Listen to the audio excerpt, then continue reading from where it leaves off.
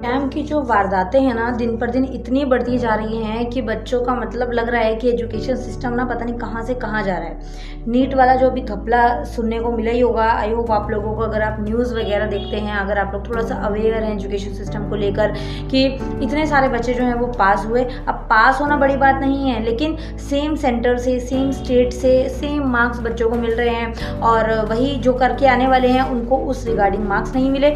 और आधों को जो है वो ग्रेसिंग मार्क्स देकर पास कर दिया गया ऐसे आधों को जो है वो नॉर्मलाइजेशन करके पास कर दिया गया मतलब फुल फुल मार्क्स दे दिए गए। कहीं ना कहीं पार्शलिटी जो है वो रिज़ल्ट में देखी गई। तो जितने भी नीट वाले स्टूडेंट्स हैं ना मेरे जिन्होंने प्रिपरेशन की जिन्होंने पेपर दिया आ, देखो नेगेटिव तो नहीं होना है ओके और एक तरह से यही है कि रिज़ल्ट जो है वो तो चलो जो अभी गवर्नमेंट लगी हुई है वैसे ये लोग क्या करते हैं वो पता नहीं चलता उन लोगों को भी।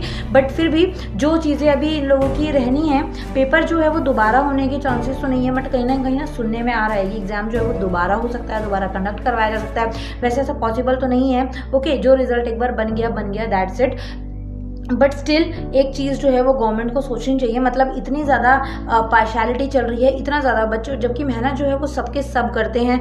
सबका सेम एफर्ट रहता है, सबके सेम प्रिपरेशन लेवल होता है। फिर भी कुछ चीज़ें जो हैं वो रिज़ल्ट में निकल कर सामने हैं जिससे साफ़ साफ़ पता लगता है कि कहीं ना कहीं घपला हुआ है, कहीं ना कहीं जुगाड़ करके जो है वो बच्चों को पास किया गया। सेम के सेम सेंटर हैं मतलब कि सेम जो है हरियाणा से कुछ स्टूडेंट निकले हैं, जिनके सात सौ बीस नंबर मतलब full out of full marks Tamil Nadu से कुछ स्टूडेंट्स निकले हैं, ठीक है? गुजरात से कुछ स्टूडेंट निकले हैं। हैं। उत्तर प्रदेश से भी कुछ स्टूडेंट निकले हैं। मतलब सेम सेंटर और एक चीज़ जो नोटिस करने वाली है, जहाँ पर मतलब ये चीज़ पता लग रही है कि हाँ भाई चीटिंग मीटिंग हुई है, कि सेम सेंटर से जो है मतलब एक ही सेंटर से दो दो टॉपर जो है वो निकले हैं। सेम स्टेट से जो है वो टॉपर निकले हैं। तो ये कहीं ना कहीं थोड़ी सी कुछ चीज़ें जो है ना, वो न्यूज़पेपर वाले भी कन्फ्यूज़ हैं ओके और कई टीचर्स भी कन्फ्यूज़ हैं कि भाई ये कैसे हो सकता है? ये कुछ चीज़ें जो हैं वो थोड़ा सा शक डलवा रही हैं दिमाग में, कि ऐसा पॉसिबल है क्या?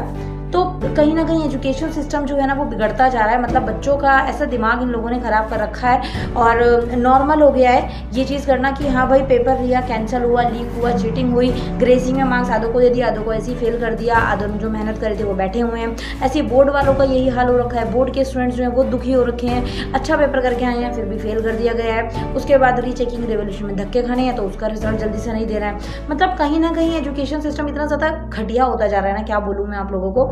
कि एक मन में ये भी आ जाता है कि यार पढ़ाई वढ़ाई छोड़ कर ना अच्छा वाला कुछ ऐसा काम कर लेते हैं शॉर्टकट वाला जहाँ पर पैसे भी आएँ और थोड़ा आधे तो यूट्यूब में लग रखे हैं बच्चे कि हाँ भाई चलो यूट्यूब में अर्निंग स्टार्ट करेंगे यूट्यूब में काम करेंगे।